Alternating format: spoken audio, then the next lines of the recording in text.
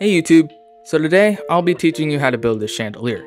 I do just want to warn you that this is a big chandelier, so if you have a smaller house, maybe watch a different tutorial. But if you are looking for a large chandelier, then this is a video for you. Alright, let's get into it. So let's start with the materials you'll need. First, you'll need some sea lanterns, but if you're in survival, I highly suggest glowstone. Then, end rods or lanterns. Next, you can use any type of wall, preferably matching your ceiling. You can also use any type of fence you want, my favorite spruce. Then you'll need hoppers for the inner works and white stained glass for the outer works. Alright, onto the building.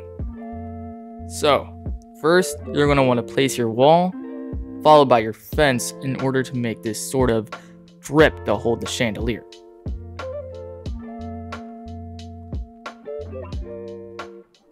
Next, you're going to want to make a cross with the glass. It should sort of just look like a plus sign.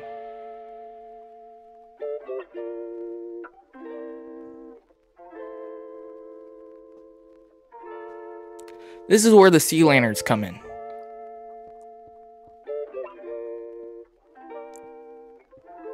It should look like the plus sign, but also with an extra one.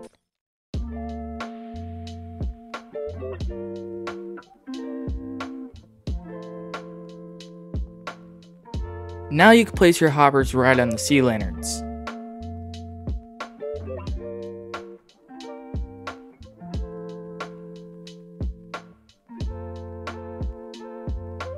Now you want to cover your entire chandelier with glass.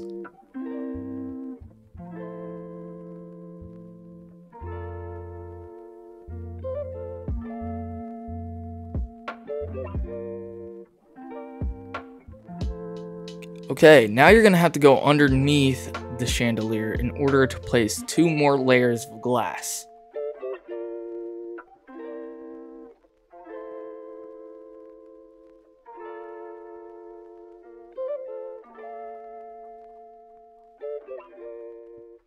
Okay, now all that's left is some panes.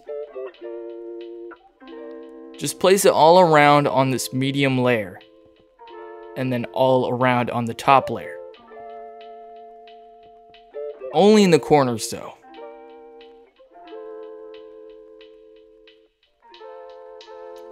Okay, now you place your end rods.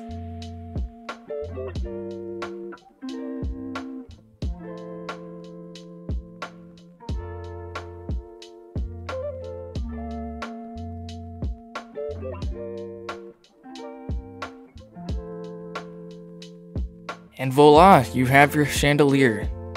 Thank you guys so much for watching. Please consider subscribing, and have a great day.